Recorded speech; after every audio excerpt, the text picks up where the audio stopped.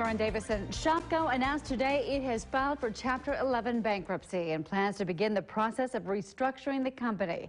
That plan means closing 38 stores, including a Green Bay store on South Military Avenue. And as Local 5's Erinn Taylor found out today, it'll be an historic loss for the area.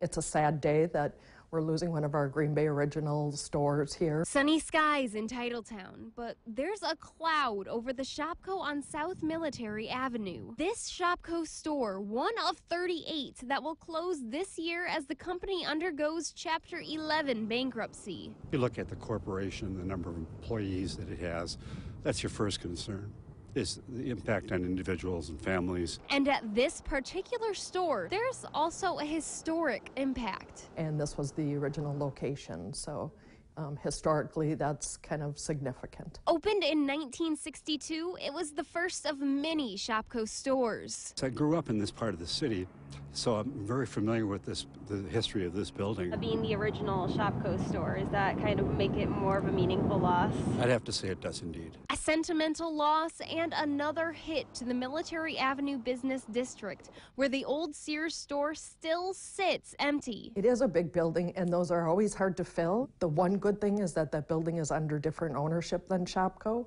and so that should be able to speed up the process of finding a new tenant versus being tied up in any bankruptcy proceedings. A loss for the district and the people that shop there. There's a lot of walking traffic here and a lot of um, people that live very close by. All those people will um, have to find a new location.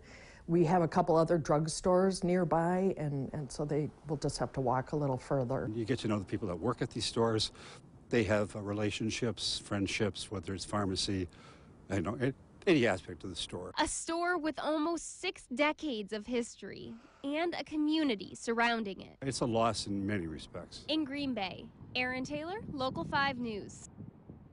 That store is expected to close on April 15th. Now, for a full list of Shopko store closures, you can head to our website at wearegreenbay.com.